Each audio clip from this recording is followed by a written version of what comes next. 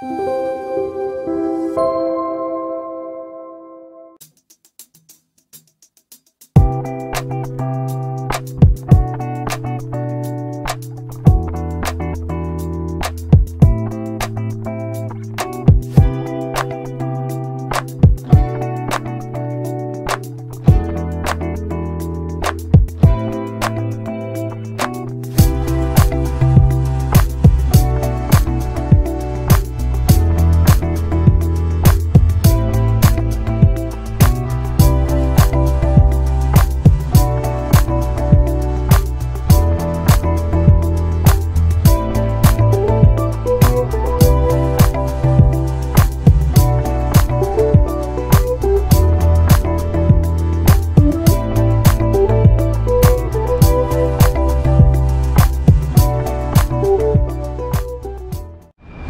안녕하세요 그래프입니다.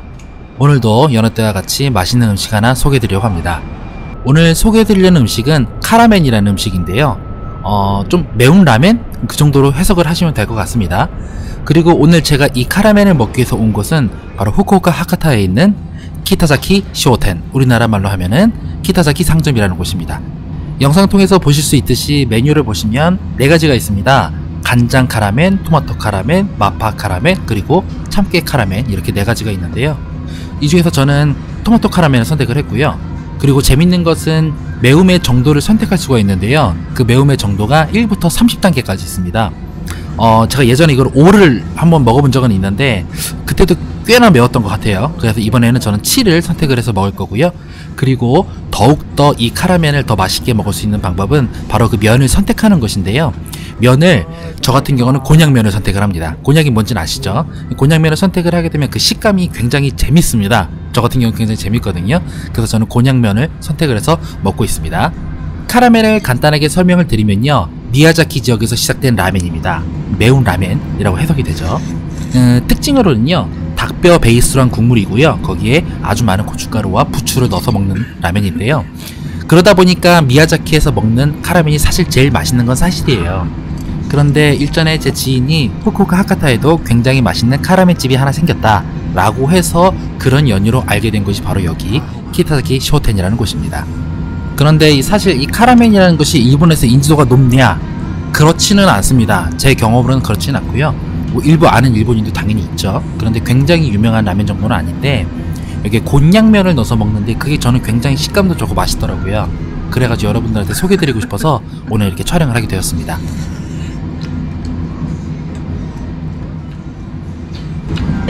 この食感がですね食感がいいんですよこれ 네, 고도로 설명드린 건 이 정도로 하고요. 항상 말씀드린 것처럼 음식을 먹을 때 즐거움 중 하나가 음식을 먹을 때의 모습 그리고 음식을 먹을 때 나는 그 소리 그런 것들도 음식을 먹으면 즐거움 중에 하나잖아요. 그래서 지금부터는 영상을 통해서 그런 모습들 그리고 그런 소리들 즐겨주시길 바랍니다.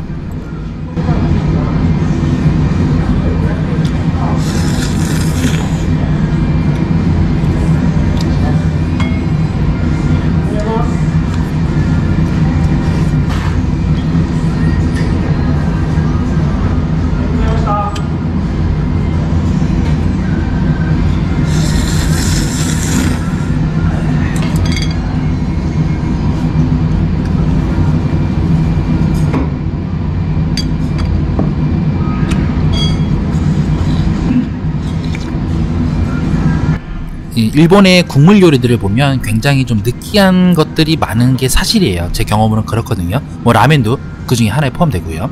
그런데 이 카라멘 같은 경우는요, 그런 느끼함은 느낄 수 없습니다.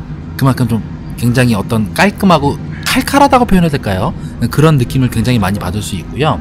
그리고 항상 말씀드리듯이 라멘을 먹을 때도 그렇고 저는 항상 국물 요리 먹을 때는 밥을 말아 먹는 그런 좀 습관이 있거든요. 그래서 이번 영상에서도 그 밥을 말아서 먹어봤는데 굉장히 그 콜라보가 좋았습니다.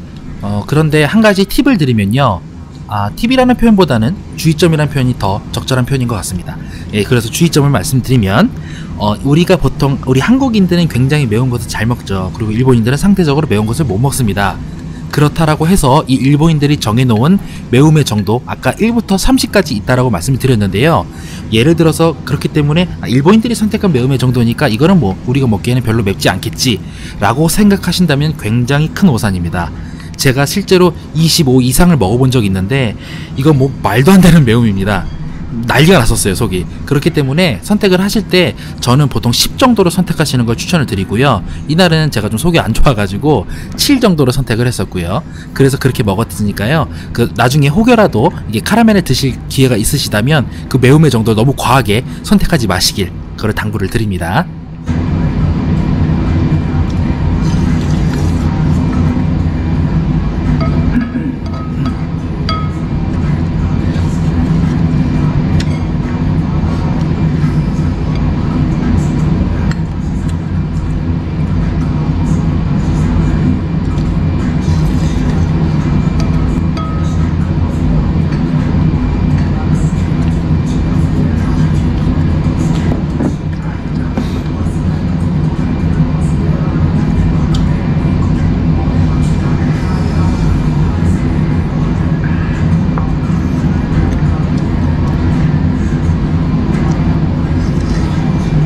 네, 그리고 이건 뭐 어디까지나 여담입니다만은 제가 일본에 그래도 어느 정도 오래 좀 살고 있다 보니 항상 그리운 것들 중에 하나가 어떤 그 얼큰한 음식에 대한 그리움들이 있어요, 사실.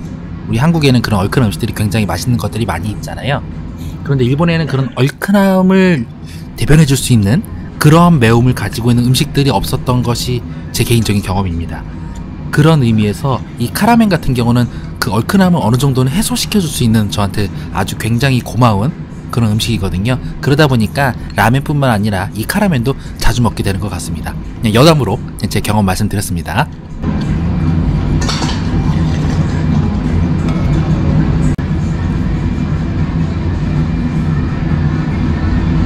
確かに以前にはここ居酒屋だったんですよね